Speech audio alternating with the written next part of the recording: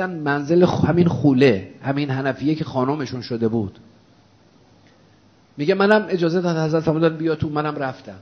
خوله در اومد گفت یا آقا یا امیر المومنین وقت اون نرسیده دلای عاشق بیشتر گوش بدید.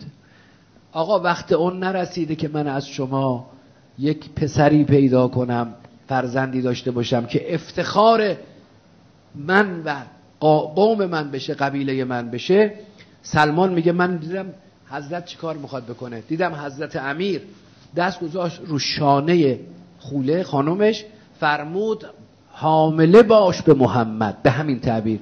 حامله باش به شخصی به پسری به نام محمد. میگه آثار حمل در جا ظاهر شد. سلمان میگه یک ساعت بیشتر نشد. دیدم آثار وضع حمل پیدا شد. یک ساعت بعد محمد و زاید پسری بود حضرت گذاشتش اسمشو محمد.